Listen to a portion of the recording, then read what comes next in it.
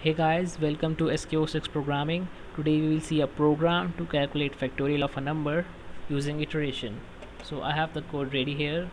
int n, cout, enter the number, cin n. So the user will enter the number for which he wants to find the factorial. Now we'll take a variable to store our answer. Double f is equal to 1. We have taken the data type double because we want to store large numbers and first you have initialize to 1 for double i is equal to 1 i is smaller than equal to n i plus plus f is equal to f into i. That means you will start from 1 and successively multiply the numbers till n and store it in the variable f to get the factorial of n.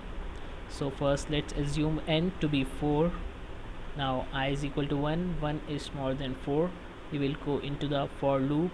F is equal to f into i now f is 1 initially. Now f is equal to f into i. I is 1 now f stores 1 okay. Now in the next step i is 2 f is equal to f into i. That means 1 into 2 now f stores 2 okay f stores 1 into 2 now in the next step i is 3 f is equal to f into i. That means 1 into 2 into i which is 3 now f stores 1 into 2 into 3 now the next step f is 4 f is equal to f into i. That means 6 into 4 so now we have got our answer. 1 into 2 into 3 into 4 now we will come out of the for loop as in the next step i is 5 and 5 is smaller than equal to 4 is a false statement. Now cout factorial of n is f.